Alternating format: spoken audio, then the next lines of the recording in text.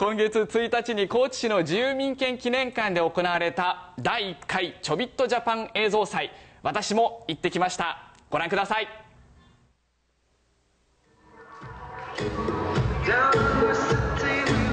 開会セレモニーに登場したのは映像祭のマスコット。その名も映像くんです。こんなノリで始まったこのイベント。映像くんに扮していた主催者マイケル・カーンさんの挨拶からまずはお聞きください。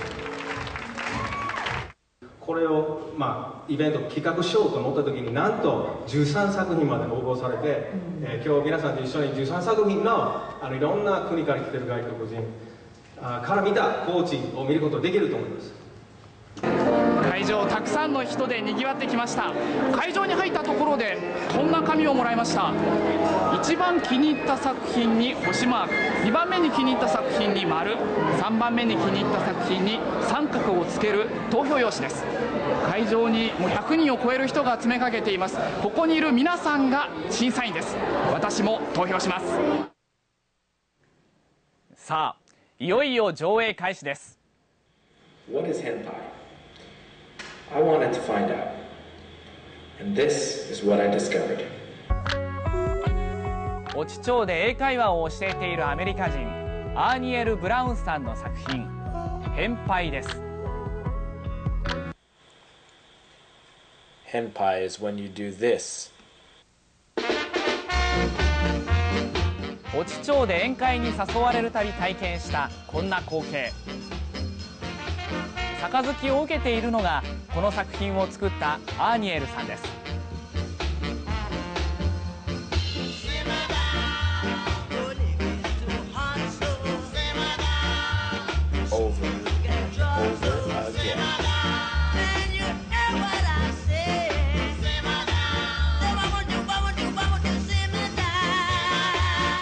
アーニエルさんの表情の変化に注目してご覧ください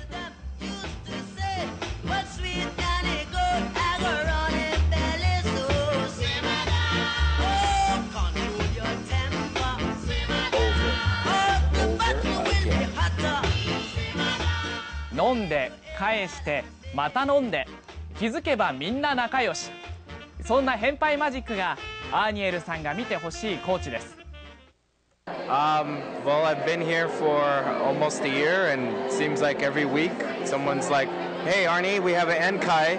Uh, why don't you come? Don't you know?" Da da da da da. And probably my first Enkai and Kochi, they uh, they henpied me, and so when I heard about the film festival, I was like, "Oh, perfect, perfect film for Kochi, henpai."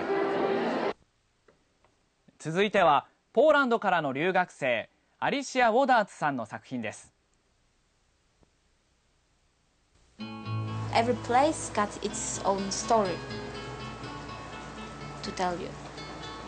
So you just go them and discover the story. And I found out my little story from Kagami River. Zobacz, Anno, śnieg mam przed oknem grudniowy.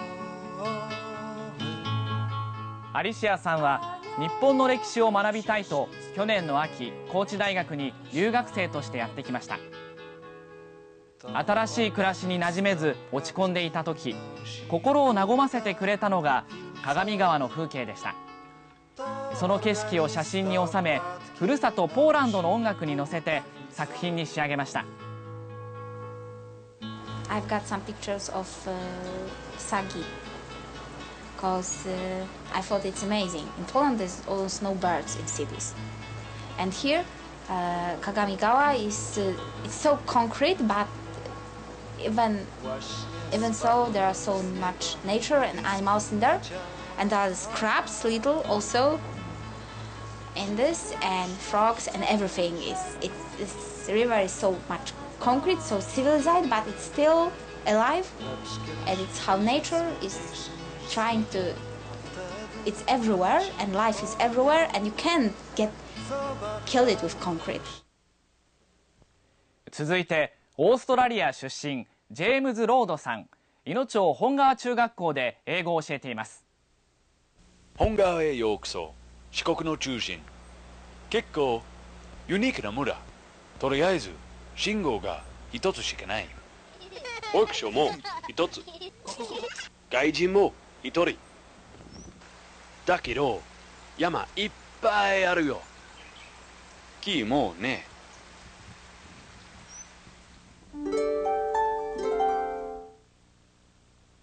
石川春夫さんは昭和33年から本川の山で山師として活躍している48年間木の搬出方法はほとんど変わってない。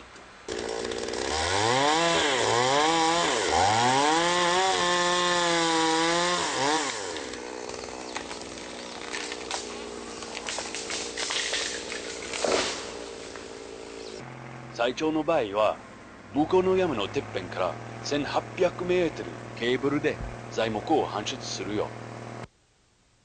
オーストラリアと違って四国での林業の会社は合併が進んでないき林業のスケールはまだ小さい。このことも環境に優しいと思う。現場では全ての作業は手で行われている。このため多くの労働力が必要だ。でもね本川では若い人が少ない。映像をご覧になった感想は？そうですね、やっぱりこう、えーと外国の方の視点で、本当の高知の良さをこうこう再発見するというか、まあ逆に高知に対してすごく愛おしい気持ちが湧いてきましたね。ちょっと鏡側のとこなんかも見たら全然あああそこやとかいう感じのとことかがあって普段は車で何気なく通ってるとこなんかがすごくまた違った映像として現れて発見がありますね。えー。感動しました。どちらからいらっしゃったんですか？あのニュージーランドで。自分でも映像を作りたいと思いました？もうぜひ 明日からも始めようかなと思ってる。200人余りの観客とともにたっぷりと味わった13作品どれも3分半という短い時間の中に高知で見つけたジャパンがぎゅっと凝縮されていました。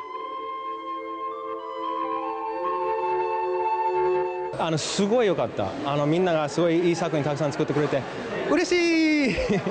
映像で終わってしまうだけじゃなくてこの映像に出てきたメッセージだとか